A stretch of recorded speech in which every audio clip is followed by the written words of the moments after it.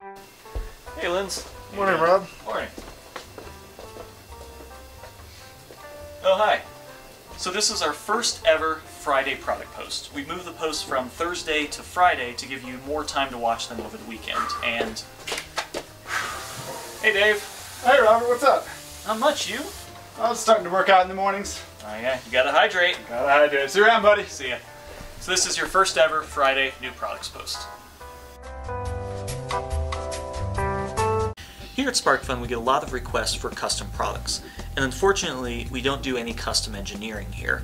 And we do realize that there are a lot of applications that we just can't come up with, and making custom hardware is essential, but unfortunately, we just don't do it. So what we've done is we've actually come up with one board that should fit all the needs of everyone ever. This is the All DoF. The All DoF is the culmination of all the work that we've been doing for the last five years. And what we've done is we've taken all of our knowledge and every board that we've made and we've condensed it down into one small package. This board will do just about everything. Let me run down some of the features of this board. At the top, we've got a Wi-Fi and GSM antenna. We've got the cellular module here at the bottom. We've got a GPS module. We've got an XBee module. We've got a data tracking unit as well as a data logger.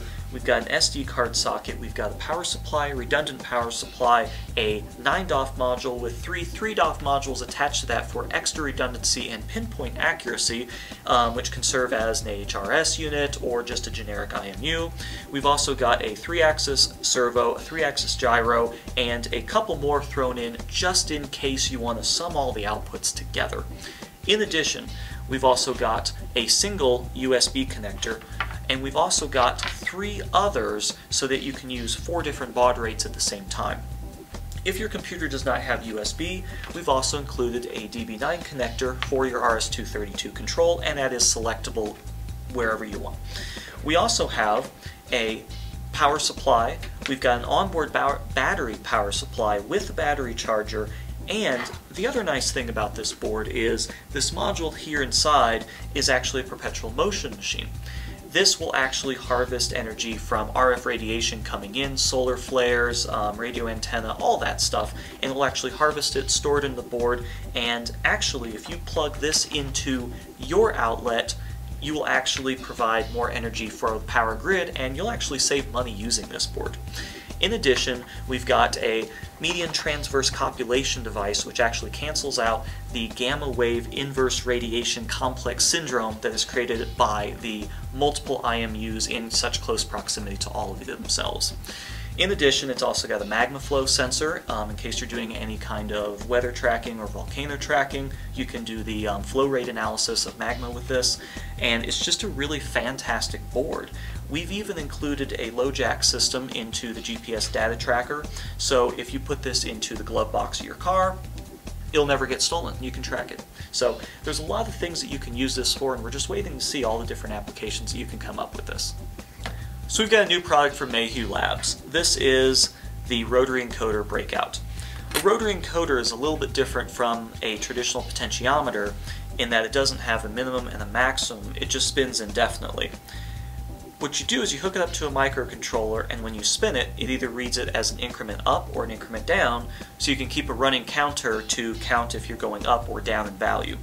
The problem with the rotary encoder is, since there's no real minimum maximum, you don't always know where that encoder is in your value range.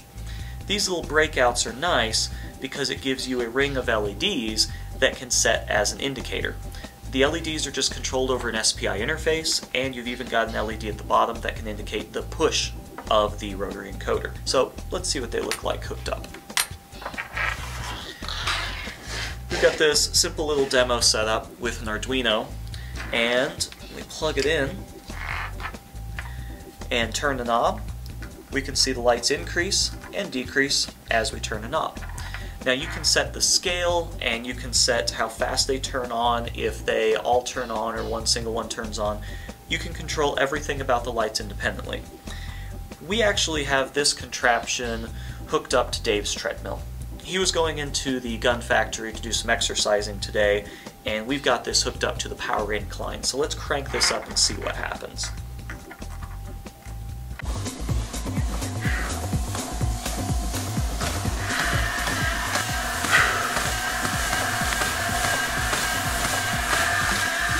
With this thing today.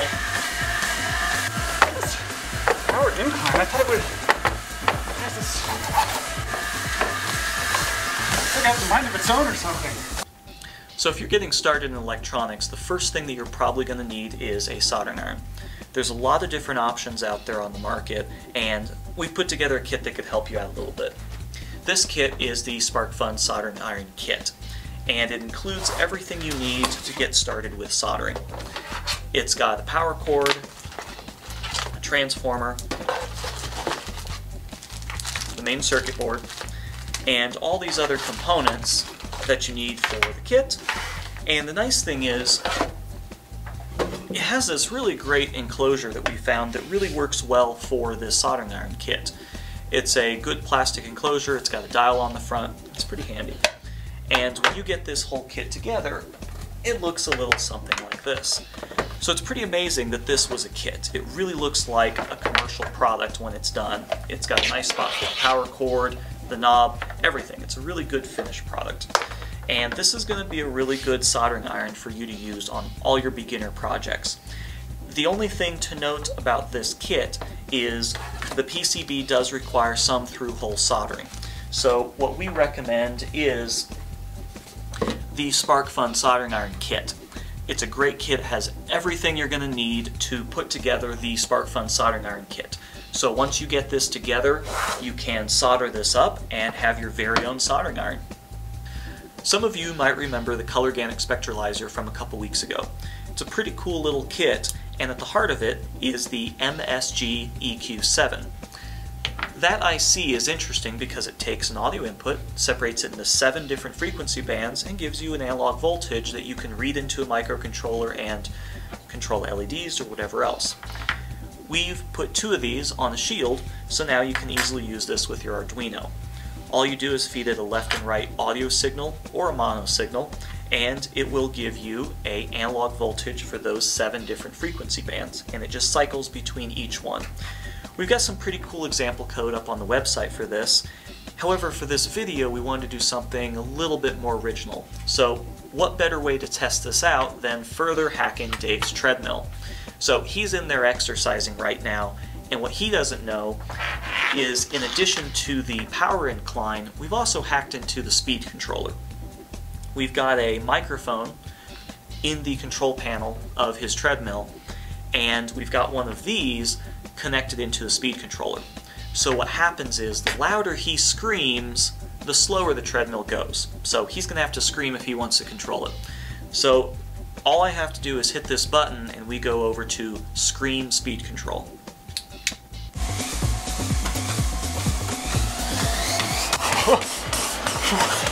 It's way too fast! Can't run that fast!